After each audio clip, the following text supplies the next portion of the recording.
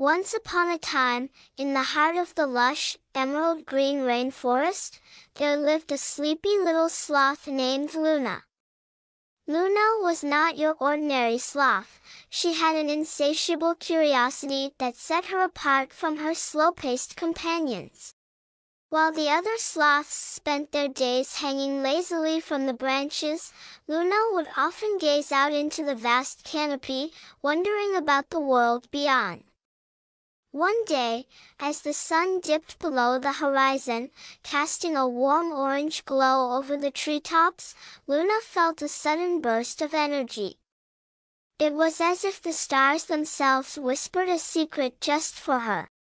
Driven by an inexplicable sense of adventure, Luna decided to embark on a journey through the rainforest. Slowly and deliberately, she climbed down from her cozy treetop and ventured into the unknown. As Luna traversed the thick foliage, she encountered a multitude of colorful creatures, each with their own stories to tell. She made friends with chatty parrots, danced with butterflies, and even played hide and seek with mischievous monkeys.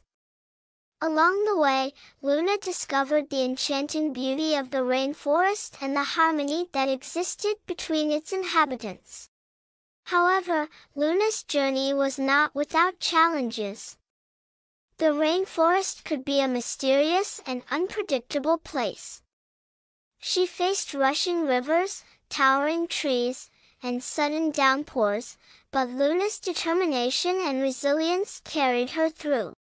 One day, as Luna rested on a sturdy branch, she looked up at the sky and realized how far she had come. The vastness of the world became apparent, and she felt a profound connection to the universe. Luna had grown wiser and more appreciative of the simple joys that surrounded her. With a heart full of gratitude and a newfound sense of peace, Luna decided it was time to return to her sloth family. As she made her way back through the familiar canopy, Luna couldn't help but smile. She knew that even in the slowest of creatures, there could be a spark of adventure and a world of wonders waiting to be explored. And so, Luna returned to her sleepy treetop, sharing her tales of the rainforest with the other sloths.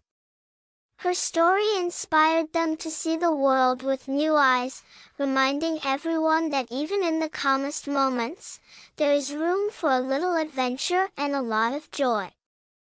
And so, in the heart of the rainforest, Luna's tale became a legend, whispered from one sloth to another, ensuring that the spirit of curiosity and exploration lived on.